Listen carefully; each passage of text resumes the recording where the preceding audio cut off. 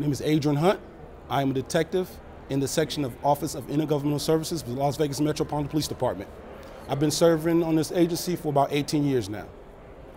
This event is important because, of course, we want to bridge the gap with law enforcement and our youth. Um, we want to educate them on the do's and don'ts.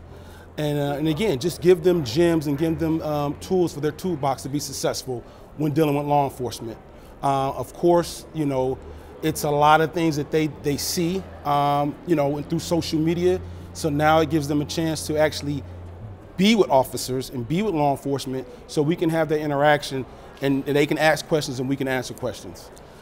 The information today presented uh, can make a difference.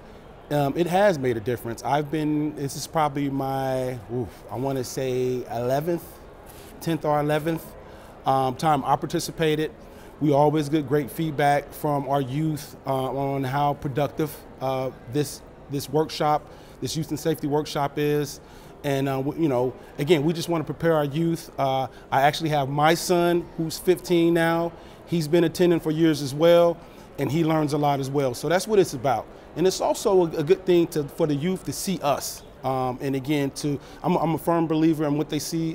What they see is what they'll be. So when they see us, they have the mindset. Okay, well, that's something that's, that's tangible, and we can you know, we can pretty much be officers as well. So that's a good thing, and that's the, the you know the gym and the mindset we want to you know we want to give to and have to our youth. So yes, every year I feel it's it's my my cause uh, uh, to come and give back and also participate as well in in this event. And um, again. Um, I love everybody who you know who's involved in it. I think collaboratively we, we do a great job. And again, it's about our youth, it's about our community, and that's why I love it. So definitely I'll be back.